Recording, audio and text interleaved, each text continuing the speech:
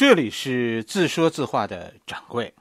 掌柜说：“曹操传，今天咱们讲第四十五回，风起时。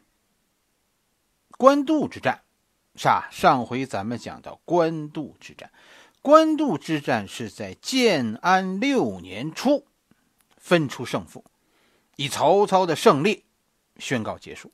跟着曹操又夺取了青州。”扫荡了渭南，然后就是平定四下的匪患，一直到建安七年的春天，曹操才返回许都。从老家谯县经过的时候，曹操当时很感慨。曹操说：“呀，说我当初在这里起兵，是为了平定天下，让大家过上好日子。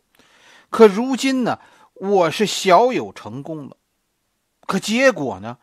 我今天在我的老家呀，走了一天，穿过桥县，这一路上一个熟人我都没有遇见呐，到处都是破败。跟着曹操说完这番话，曹操做了三件事，这三件事，《三国志》特意记载了，就是这三件事让河南从此止歇了刀兵。这三件事啊，大家注意听。其实《三国志》特意把这三件事记下来，是有用意的。第一件，就是停止在河南这个地区征兵，然后呢，然后重修地方档案，根据原来的档案记录，每一户人家还有原来的土地，如果这家人死绝了，就让他们的亲戚来继续耕种他们以前的土地。然后呢？然后政府出面配给农民耕牛，让他们能耕种更多的土地。就表面上看，这个举动啊，没有什么，这不就是，呃，安置流民、发展生产吗？但是曹操的这个做法很特殊。大家觉得特殊在哪里？他是根据档案确定地权的。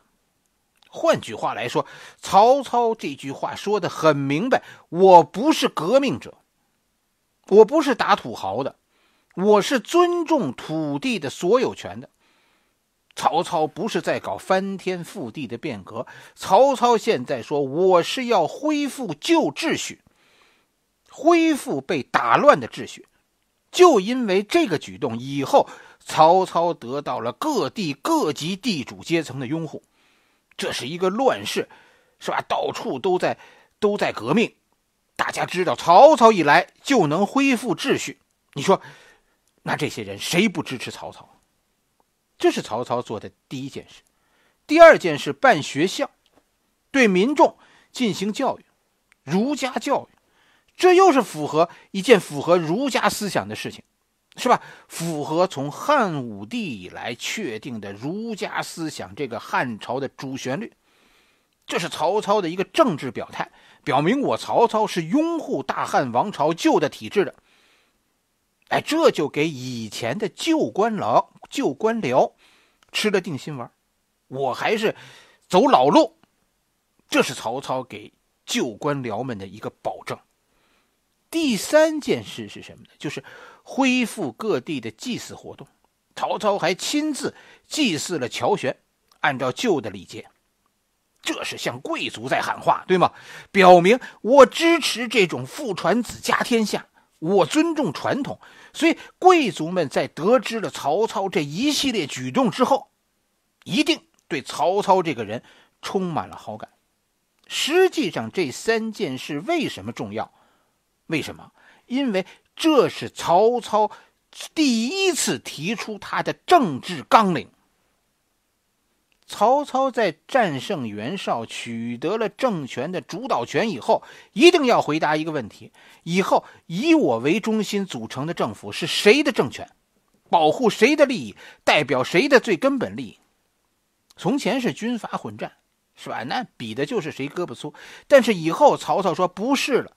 我曹操是一个可以给你们带来安定的人，跟着我不是打天下，是恢复旧秩序。我我代表的是安定。所以曹操在获得政权以后，打出的第一面旗帜就是恢复秩序。从咱们开始讲曹操的故事，我们就一直在说一件事，就说曹操是个心里有天命的人，他始终在维持所谓的天命。可是究竟什么是天命？天命这个词，你听着其实特别的虚幻，对吗？哎，让人琢磨不定。但是现在我们知道了，因为随后我们看到曹操被地主们支持，认为曹操，他们认为曹操是他们的天命，因为曹操维护地主们的利益。官僚们后来拥护曹操，因为什么？有曹操就有我们的官做。贵族们也拥护曹操，有曹操就有我的爵位。地主支持，官僚支持，贵族支持。这就是大汉王朝的天命。如果以前曹操顺应天命这句话很虚幻，啊，他站在汉献帝一边，啊，他站在人民的信仰一边，那些其实我们说都没有什么实际利益。但是此时此刻，这三件事做完，曹操才算是获得了一场决定性的胜利，他成为所谓的阶级。统治阶级的领袖，他代表了一个阶级，成为一个阶级封建社会的统治阶级利益的捍卫者。他就做对了这件事，他代表着天命。也是从这个时候开始，曹操的战争发生了变化。曹操以后不再是军阀战争中的一一方，因为什么？因为天下人心已经有了判断，谁是主旋律，谁是中央。每一个人的心里现在都清清楚楚，曹操变成了天下的统一者。就实力就实力来说，曹操还很弱小；但是就人心来说，曹操现在很强大。天命，天命以后是支持曹操统一天下的决定性力量，把这个摔倒的世界。曹操说：“我要把他扶起来。”但是这个时候的曹操并不强大，甚至于和他周围的那些诸侯比起来，其实曹操还很弱小。所以，他这个强大，曹操后来的强大是嫁接的。从现在开始，曹操就把自己绑在了汉献帝这个树干上。他恢复的秩序是汉朝的秩序，拥护他的地主是汉朝的地主，是吧？拥护他的官吏是以前是汉朝的官吏，拥护他的贵族那就更是汉朝的贵族。他们心里都有一个汉献帝。没错，当年那个玩偶。现在已经是一尊偶像，曹操其实也不知道怎么阻止这尊偶像将来成为一尊神。曹操并不知道怎么阻止，所以曹操和汉献帝的关系，也就是从此时此刻开始变得微妙。原来汉献帝是一个玩偶。是吧？曹操在马路边上捡的，是曹操不断的塑造，把这个玩偶造成了一尊偶像，然后利用偶像来忽悠人。可是最终，这尊偶像真的要成为一尊神的时候，曹操不知道我是应该拜呀，还是应该掀翻他呀？曹操自以为捡了一只猫，养大才发现那是一只虎。大体上，这就是曹操以后和汉献帝的关系。曹操是靠着汉献帝起家的，挟天子令诸侯嘛，是吧？是用汉献帝的名义征集天下力量的支持，现在成为霸主。问题是，汉献帝真的是曹操心中，他要拜的那尊真神吗？对于这个问题，历史上很多大学者都有自己的观点。曹操到底是不是大白脸？哎，这件事儿真的是各说各话。掌柜自己啊，我的观点其实是，曹操未必有那么明确的想法。大家记住，他就是一个任侠，对未来就是三个字：走着瞧。我觉得曹操和很多历史学家不同，在我眼里不同，他没有什么远大的志向。当初简汉献帝那是脑子一热就干了，是吧？现在把他供成佛，那是形势所迫，不得不如此。至于以后他是不是真的啊？说这尊佛将来会不会真的成正果？曹操心里的想法是走着看吧，到时候再说。这是掌柜。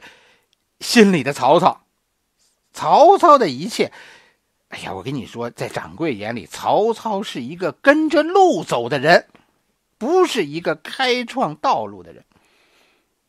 从建安七年开始，曹操突然啊，在以前只重视打仗的曹操，我们看到从建安七年开始，曹操突然呐重视起水利。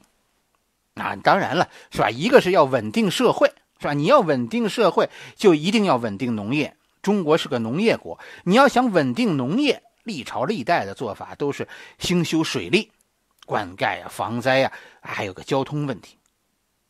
对了，交通问题。建安七年、建安八年，曹操都去了睢阳。曹操用了一年多修了一条运河，就是睢阳渠。这是一条南北向的运河，南接淮河，北通背汴水。这条河一通，立刻你就看出来，曹操地盘内的几乎所有的水运都通了。曹操水运体系就因为这条运河一通就被打通了，从汴水通济水就进入黄河了。此时的曹操，粮食运输的问题就解决了。以后兵员运输的问题也解决了，更关键的是，曹操现在征集船只的能力大大提高了。因为什么？因为所有水系都是相通的。没错，曹操此刻在发展生产，在积蓄力量，在准备着对袁绍发动最后一战。袁绍、曹操这边在讲大团结。大搞生产的时候，袁绍在干什么呢？好了，这一回我们就讲到这里。马上就过年了，是吧？掌柜也该也该歇歇了，是不是？讲到这里，其实也算是《曹操传》上半部，咱们就讲完了。曹操的事业现在站在了新的台阶上。曹操现在可以傲视天下，是吧？这昨天晚上掌柜推荐了那首《琅琊榜》的主题曲《风起时》，掌柜觉得这就是曹操此刻的心情，也是掌柜讲这部《曹操传》的时候，哎呀，按捺住的激动时候的那种那种心情，就是。风起时，上半部《曹操传》的上半部，我们就讲到这里。下半部，大家别着急，下半部我们马上就跟着讲。咱们节后开始给大家讲《曹操传》的下半部。《曹操传》，掌柜答应大家啊，《曹操传》我们一定一口气讲完，绝不再留扣子。绝不再给大家挖坑。下半部《曹操传》，曹操将增加一个敌人。对，那尊偶像最终还是成神了。哎呀，下半部啊，我觉得让曹操伤脑筋呐。在这里，掌柜给大家拜年，祝大家戊戌年人旺家旺。人丁旺，掌柜给大家拜年了。年前还有一个联欢会，是吧？大家记住这个 QQ 群号，哎，是在 QQ 群里组行组织的。QQ 群号是二幺二三六五八幺零。联欢会就在情人节这天，二月十四号，就是今天晚上七点，欢迎大家来参加，咱们戊戌年开门大吉。